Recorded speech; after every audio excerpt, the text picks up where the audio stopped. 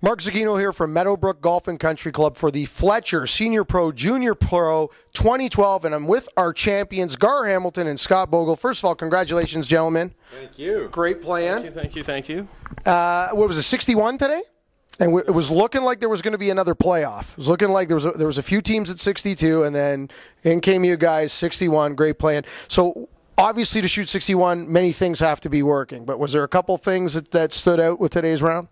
Well, we had, Scott putted great, and we hit the ball pretty close to the hole. So it, it took a lot of. We didn't have a lot of 20, 30 footers for birdie. We had a lot of five, six footers or less. So that's good. That, that makes the game a lot easier. easier. Now, did you get off to a good start and you just get on a momentum things? I hear a lot of the guys say, "Oh man, you know, we blew a couple of opportunities early, and then you start forcing it." Did you guys start off strong, or Um, I came out here last night, and Gar uh, hasn't played here in many years. And uh, I told him at the uh, we started on a tough stretch, I thought, and we ended up starting four under after five. So we got off to a great start. Two made two twos on a par three.